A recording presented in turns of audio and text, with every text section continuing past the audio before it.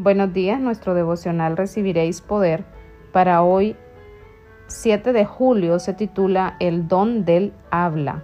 Que prediques la palabra, que instes a tiempo y fuera de tiempo, redarguye, reprende, exhorta con toda paciencia y doctrina. Segunda de Timoteo, capítulo 4, versículo 2. El poder del habla es un talento que debería ser diligentemente cultivado. De todos los dones que hemos recibido de Dios, ninguno es capaz de ser una bendición mayor que este. Con la voz convencemos y persuadimos. Con ella alabamos y oramos a Dios, y con ella contamos a otros del amor del Redentor.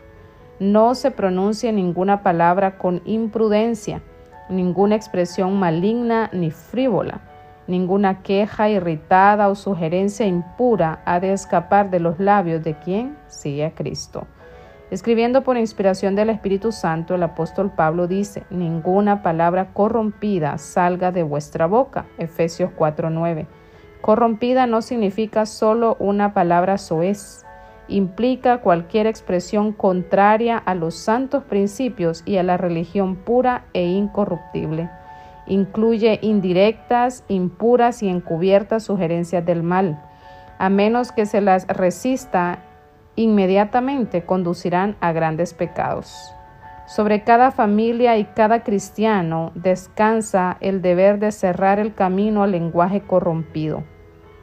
Cuando estamos en la compañía de quienes hablan necedades, si fuera posible, es nuestro deber cambiar el tema de la conversación. Mediante la ayuda de la gracia de Dios, Deberíamos tratar de introducir temas que dirijan la conversación hacia cauces provechosos. Nuestras palabras deberían ser de alabanza y gratitud. La conversación revelará si la mente y el corazón están llenos del amor de Dios. No será difícil impartir lo que entra en nuestra vida espiritual.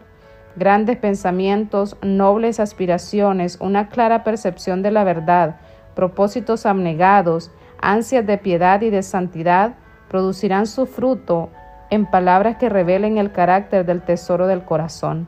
Cuando Cristo sea así revelado en nuestra manera de hablar, tendrá el poder de ganar conversos para Él. Tenemos que hablar de Cristo a quienes no lo conocen.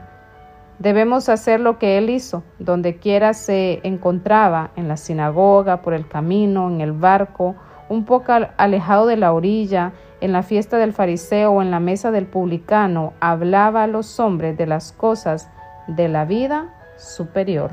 Que Dios les bendiga.